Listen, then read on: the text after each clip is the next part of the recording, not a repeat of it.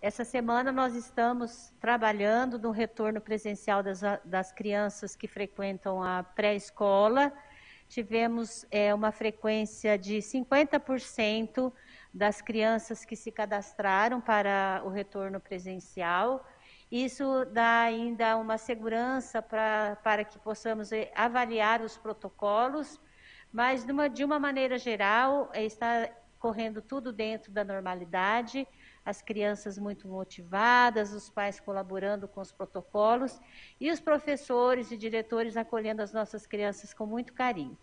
Nós tivemos, Sidney, na plataforma de adesão, 1.084 crianças é, cadastradas para a pré-escola e 984 que se interessaram pelo retorno presencial nas creches.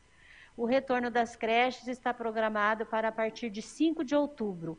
Então, com esses números identificados por unidade escolar, nós vamos comunicar aos pais o revezamento, os agrupamentos que vamos formar para esse primeiro momento de retorno das creches. É uma adesão até considerável né, em relação à pesquisa anterior que vocês eh, haviam realizado, né, professora Dulce?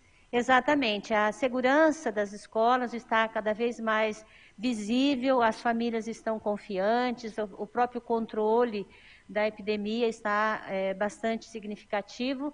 Porém, Sidney, nós continuamos com todos os cuidados, com as mesmas preocupações, mantendo seriamente os protocolos, seja da parte de higienização, seja da é, nenhuma possibilidade de aglomeração das nossas crianças e dos profissionais da educação. Mesmo porque há até mesmo na sala de aulas, né, é, o intervalo de espaços em que as crianças devem ficar. Exatamente, por isso nós estamos trabalhando com uma jornada um pouco reduzida, de modo a garantir a higienização entre um período e outro e também entre um dia e outro. Isso vai dando para nós segurança nesse retorno e, com certeza, nós teremos mantido essa qualidade do nosso ensino e também da saúde nesse momento de retorno.